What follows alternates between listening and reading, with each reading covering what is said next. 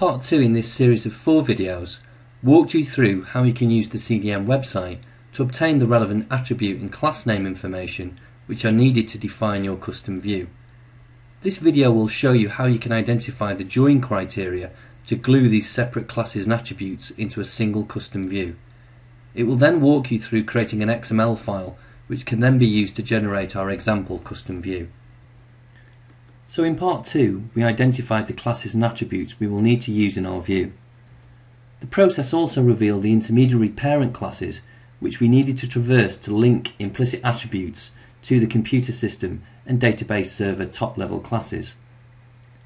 For example, the IP address attribute dot notation can only be accessed from the computer system class via the IP interface class. The primary data file and name attributes can only be accessed by the database server class via the SQL server class.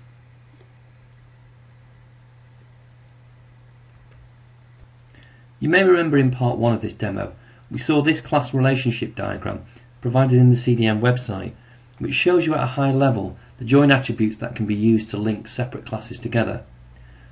We will now go into the CDM and look at each of these classes to see if we can identify the join attributes we will need to reference in our XML file. So let's first look at the SQL Server Database class. If you remember, we are getting the name and primary data file attributes from this class. If we look down the data type column, we can see that the parent implicit attribute allows us to link to the SQL Server parent class.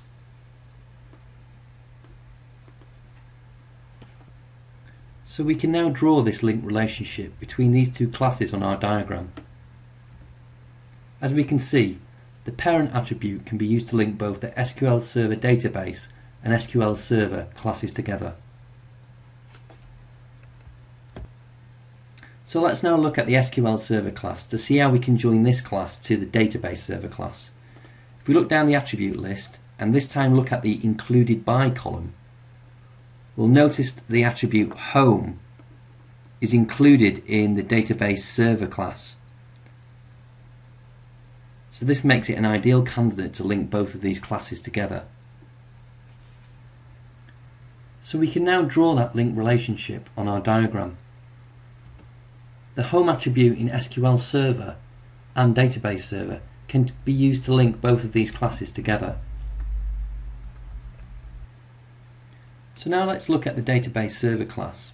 If we look down the attribute list, we can see there's an implicit attribute called host. And if we look in the data type column, we can see the parent class for this attribute is computer system. So this makes it an ideal candidate to link both the database server class to the computer system class. Using this same methodology, we can use the CDM website to identify the link attributes that can be used to join each of our required classes together.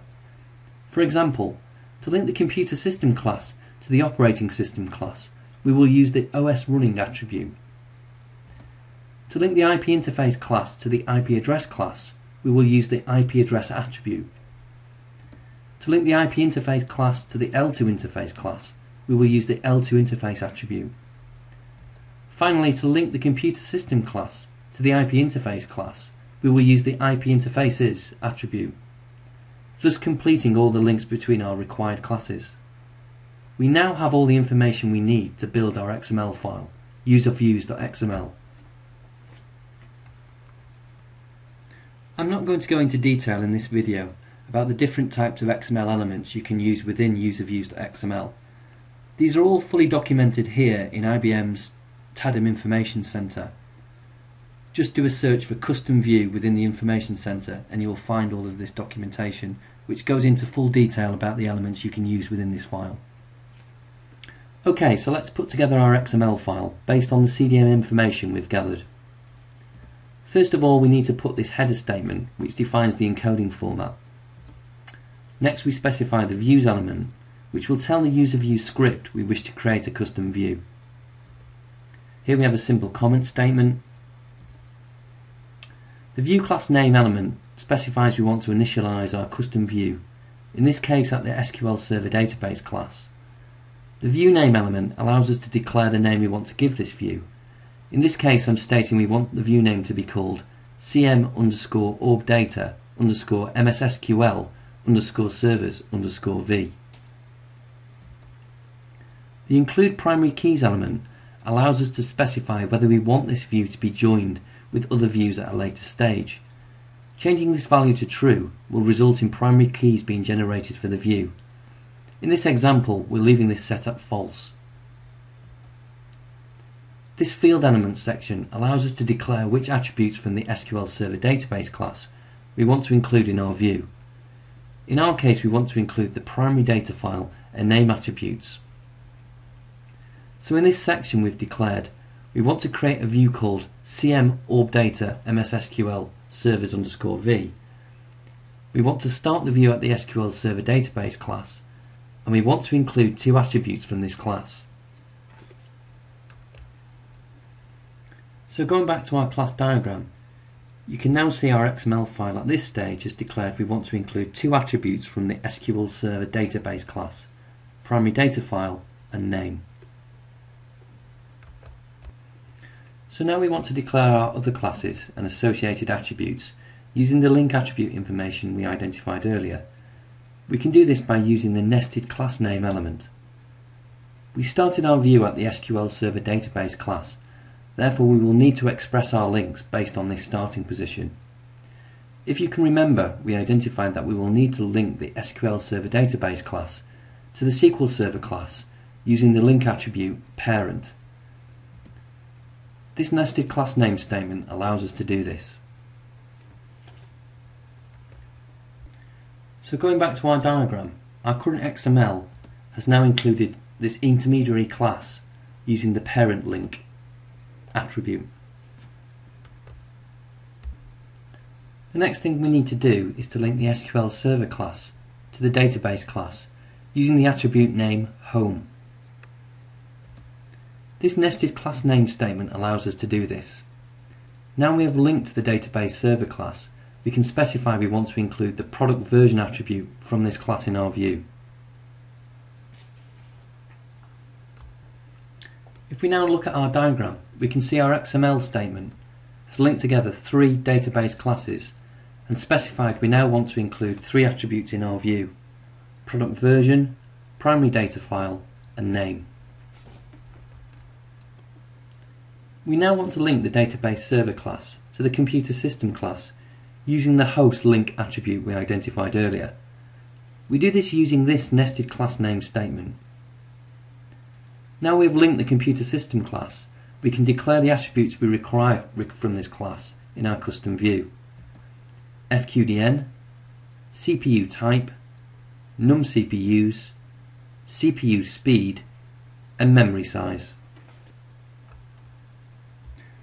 Looking at our diagram, we can now see our XML statement has now linked the computer system class to the database server class and brought in five additional attributes in our custom view from this class. FQDN, num CPUs, CPU type, CPU speed and memory size. Next we want to connect the computer system class to the IP interface class so we can include the MAC address and IP address attributes in our view. We do this using the IP interface's attribute name. Now we've connected these two classes together, we can connect the IP interface class to the IP address class using the IP address link attribute. This allows us to include the dot notation attribute in our custom view. We can now also connect the IP interface class to the L2 interface class using the L2 interface link attribute. So we can now include the MAC address attribute HW address in our view.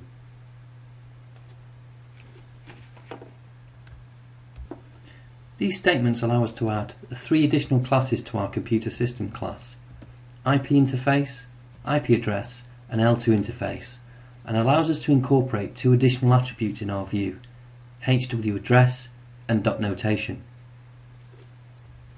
And finally, we want to link our computer system class to the operating system class, so we can include the operating system name in our view.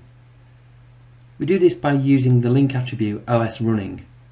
Now we've joined to the operating system class, we can specify we want to add the OS name attribute from this class in our custom view.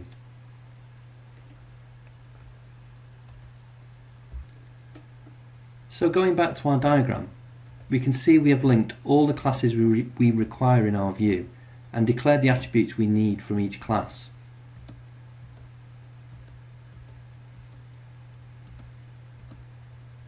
We're now ready to create our custom view. We will cover this final step in part 4 of this video presentation.